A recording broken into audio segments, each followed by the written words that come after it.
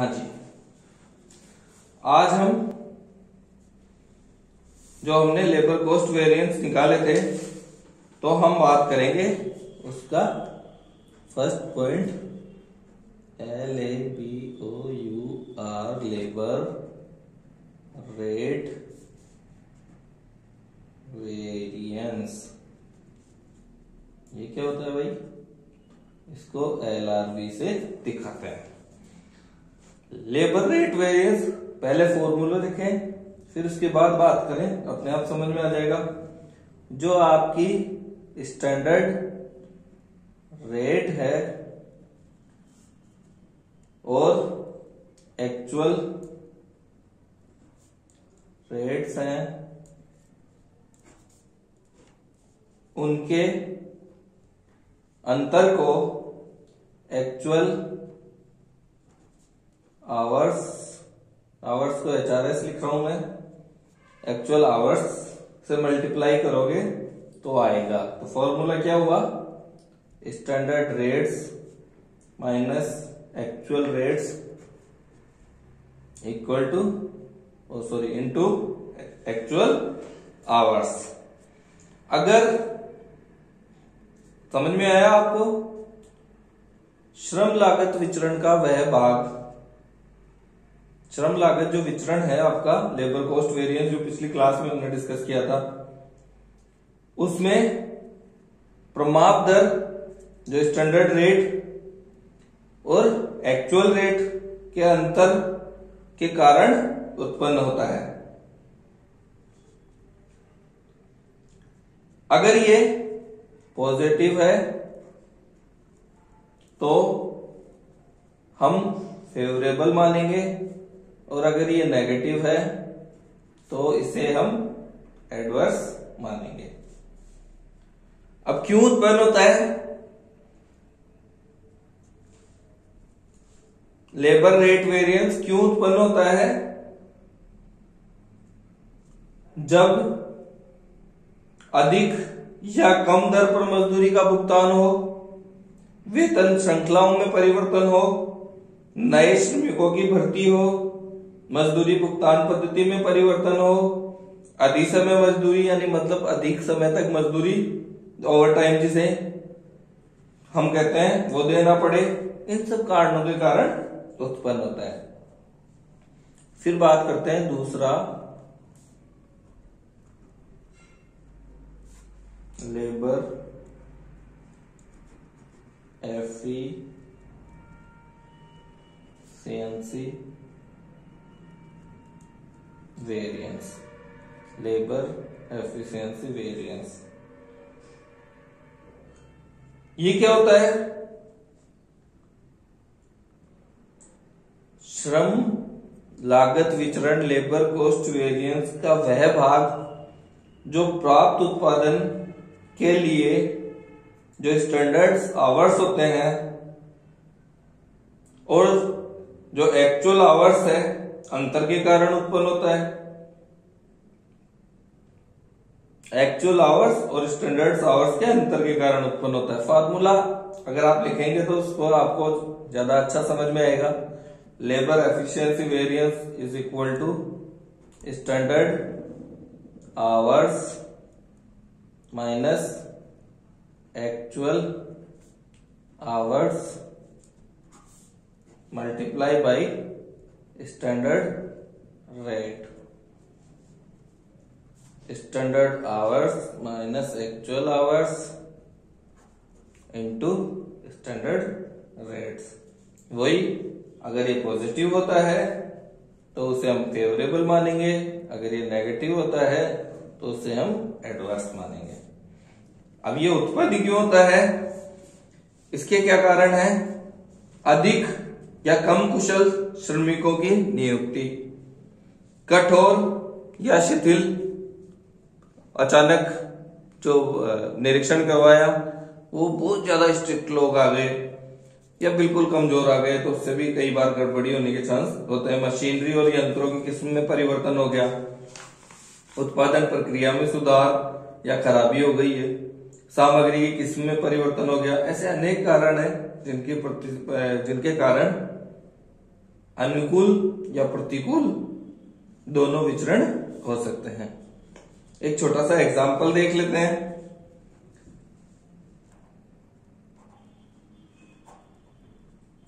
जैसे, कोई प्रोडक्ट है एक्स उसके उत्पादन हेतु पाँच जो आवर्स है पाँच घंटे प्रति इकाई यूनिट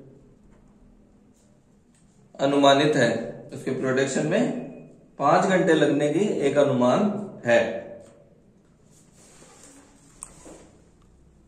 अब क्या होगा भाई? आगे बात करें। और इसकी जो रेट है, वो पच्चीस रुपए प्रति आवर्स रुपीज़ को रुपी साइन से दिखाएँ तो पच्चीस रुपए प्रति घंटा। किसी मंथ में एक हज़ार इकाइयों का यूनिट्स का उत्पादन किया गया। लेकिन टाइम लगा कितना टोटल टाइम लगा हमें छ हज़ार आवर्स और पेमेंट जो रेट रही रेट्स जो रही, वो रही बीस रुपए प्रति आवर्स अब आपको लेबर कॉस्ट वेरिएंस निकालना है। सवाल समझ में आ गया?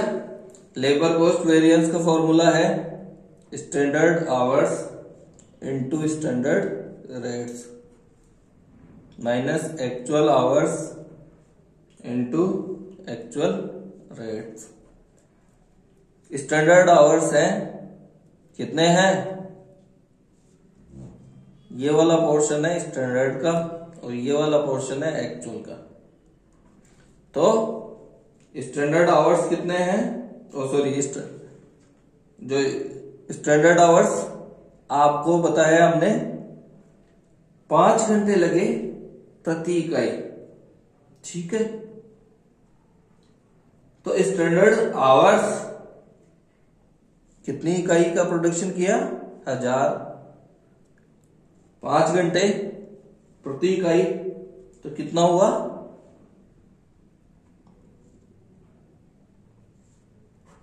ठीक है।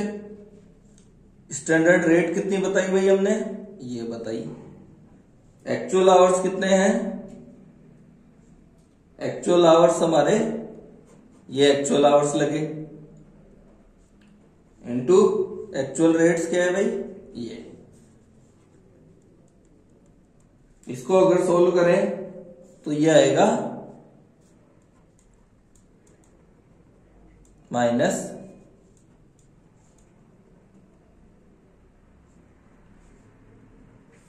एक पच्चीस, एक लाख पच्चीस हज़ार और एक लाख बीस हज़ार इक्वल टू ये कितना आया भाई?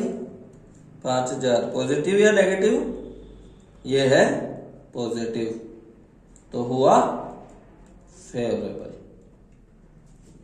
Okay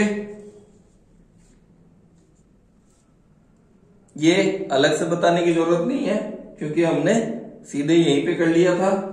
Standard hours into standard rate S H हमने निकाल लिया था।